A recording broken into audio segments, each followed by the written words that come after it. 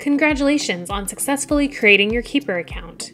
You are well on your way to securing your passwords and protecting your personal data. If you signed up for Keeper on your mobile device, you can access your Keeper Vault on your desktop computer by visiting keepersecurity.com forward slash vault using the same email address and master password you used to sign up.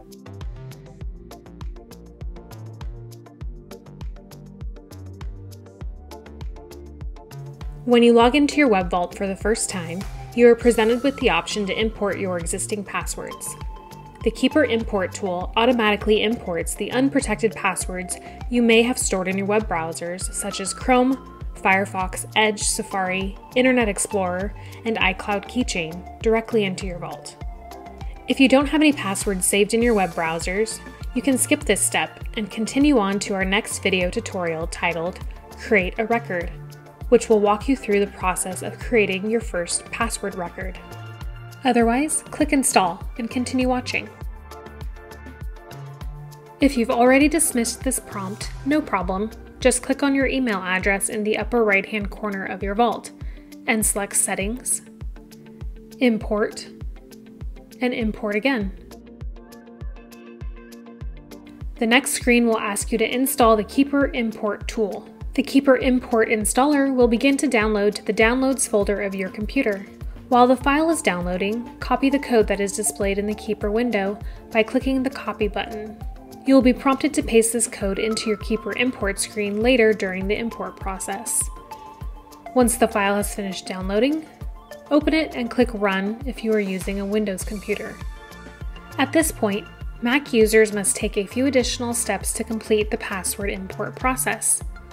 If you are a Windows user, feel free to skip ahead as I review these steps in detail. If you are using a Mac, you may be asked to grant permission to keep Keeper Import to use accessibility, which is necessary to access the saved passwords in your Safari browser. If you don't have any passwords stored in Safari, you can click Skip. To proceed to your computer's accessibility settings, click Next. Now click Open System Preferences.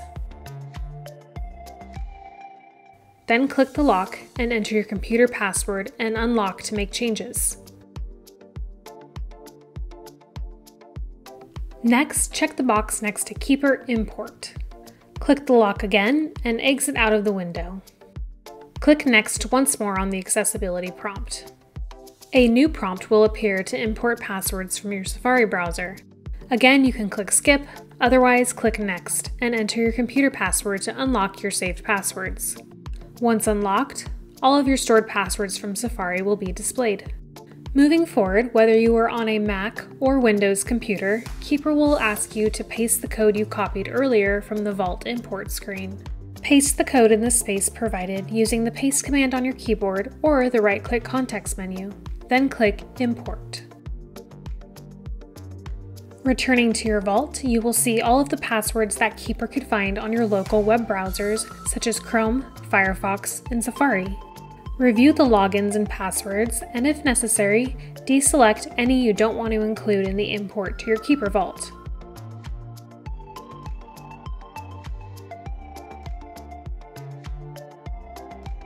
Click Add to Keeper to proceed. Now that you've completed the import, verify that the data appears properly in your vault. As a final step, we recommend deleting the passwords stored in your web browsers and disabling your browser's built in password saving features, which can typically be found in the Settings or Preferences menu of your browser. Please follow the link below for browser specific instructions for disabling these features. As a final note, Keeper can also import your passwords from other password managers or a CSV text file. Follow the link below for detailed instructions on the various methods of importing data to your vault.